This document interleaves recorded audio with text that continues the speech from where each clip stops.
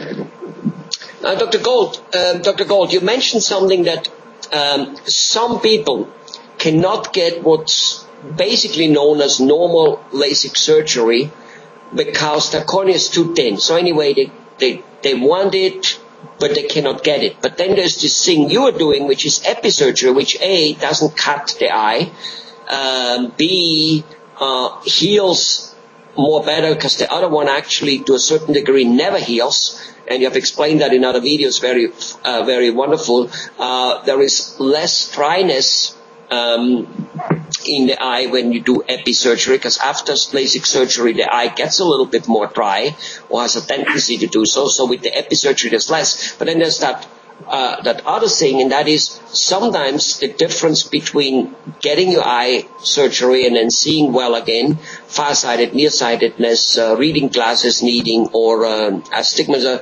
Uh, either way, it cannot be performed with the normal LASIK surgery but can be performed with episurgery. Tell us about it. Well, when we cut a LASIK flap, we're cutting about 20% of the corneal tissue and folding it back, doing the laser vision correction under that, and then putting the flap back down. But in as much as the flap never completely heals, it no longer can contribute to the structural strength of the cornea. So people whose corneas are thinner than normal, substantially thinner than normal to begin with, shouldn't have LASIK. But in epi-LASIK, because we do no cutting, we don't lose that 20% of strength. And so a lot of those people who were turned away in the past are candidates for epi-LASIK, the non-cutting procedure. Very interesting.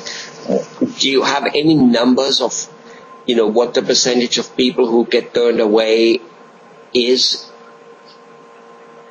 I can I can only guess. I've never kept that statistic, but I would guess in my practice somewhere around one in twenty people were turned away because their corneas were too thin, and hardly anybody gets turned away anymore with epi-LASIK for that reason.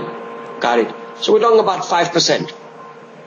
Yeah. And you know, you know, in terms of percentage, not a big, uh, overall, not a big deal. But if you're one of those 20 people who is now missing out on a beautiful sight, uh, seeing not only the leaves on a tree, but seeing the, vi- the veins of the leaf uh, on the tree, not having to put glasses up and down and all that, um, whatever goes with it, not being able to jump in the water at will, uh, not worrying about glasses, go scuba diving, having glasses uh, um, basically fogged up when having other classes like skiing or scuba diving or whatever it might be.